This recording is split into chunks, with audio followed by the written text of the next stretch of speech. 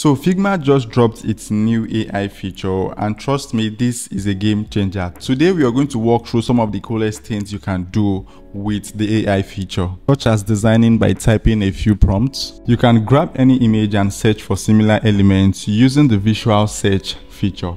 Making prototypes have also become so much easier with Make Prototype which generates your prototype in seconds with the click of a button. And whenever you have a stack of similar elements, you can use the replace content to improve the copy, increase and reduce the number of instances. And finally, on improving your workflow, Figma gets rid of repetitive tasks by helping you rename all your layers. So guys, let's dive right into Figma and see how we can get started using some of these amazing AI features. So guys, to get started, I've opened up a new design file and I'm going to select this action button on the bottom navigation here and you can see all of the AI features that was released. We are going to go through all of them one after the other in a bit, but I'm going to select the first one which is first draft. This allows you to just type in a particular prompt and then it's going to generate your design for you. Here you can click on this basic app category section. Here you can see different categories of structure like the basic app, app wireframes, basic sites, and also site wireframes.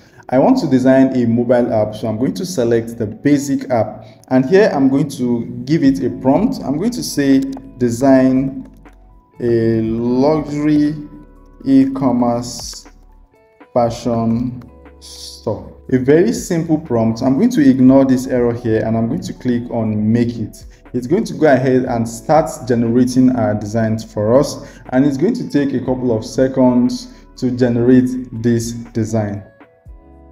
As you can see here you can see some of the images being generated and you get this really nice loading animation effect.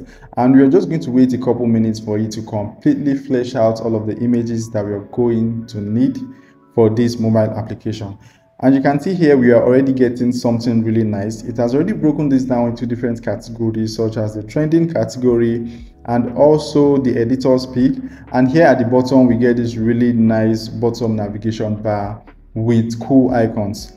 You can also change the style. You can see that this has a rounded corner style. You can change this to the sharp edges. You can also change the theme um, such as the dark theme or the light theme. And this is really cool. You can really get um, your first draft, that particular phase where you have your mood boarding, where you have your entire creative process, where you're trying to figure out exactly what to do. This particular AI feature is definitely going to make your workflow a lot better in that particular phase. And you can go ahead and click on make changes. You can see some other changes that you can quickly just toggle. Like here, you can see the light mode and dark mode. You can also come here and make effective rounded corners um, based on the elements. You can go ahead and change the typography um, for title and body.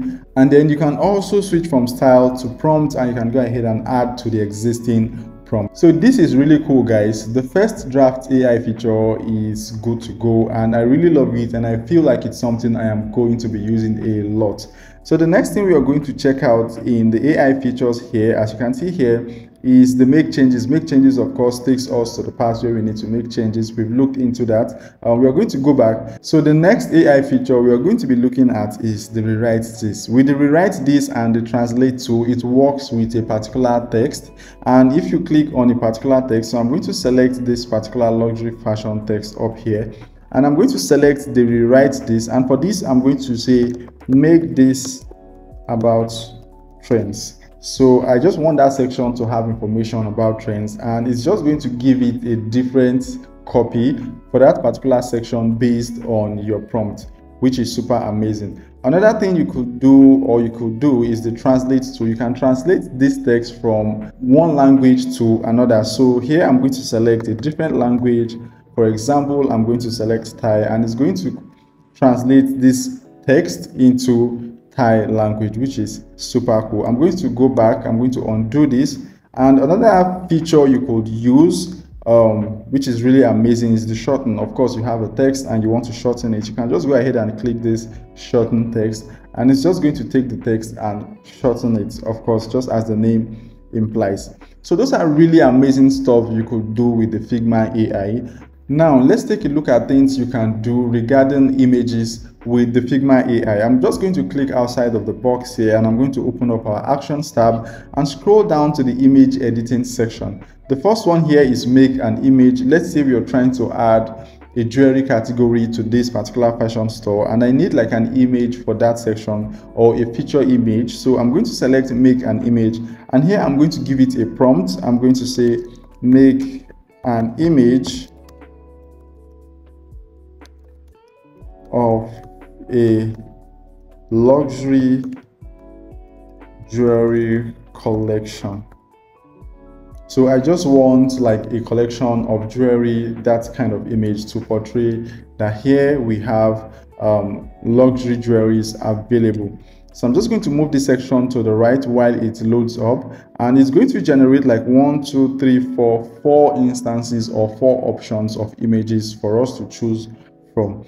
And you can see here we have amazing design. I think I like this so I'm just going to select this and I'm also going to click and drag this out. You can go ahead and pick all of the options if you like, but I'm going to select just both of this. And you can see this is an amazing image. We can also test another amazing AI feature, which is the remove background. So I'm going to select this image that we have here, open up our actions and click on remove background. And in just a matter of seconds we are going to have this image in a png format without a background just like this. This is super cool guys. There's so many amazing stuff you could do with the ai feature that can enhance your workflow. And once you're done with your design let's say you're satisfied with this design you can select the entire frame still come back to your figma ai section and click on rename layers right here on the left it just goes ahead to check all your layers and make sure that they are all properly renamed um, based on how your layout is or how the structure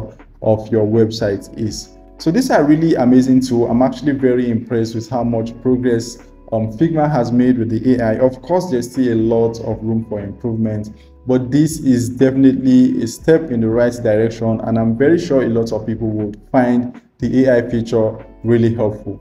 Please leave a comment in the comment section and let me know what you think about the Figma AI feature. Also leave a comment about your favorite feature and which one you've been using the most. Thank you so much for sticking to the end of this video. Do not forget to hit the like button, subscribe and turn on the notification bell and I'm going to see you guys in my next video. Bye for now.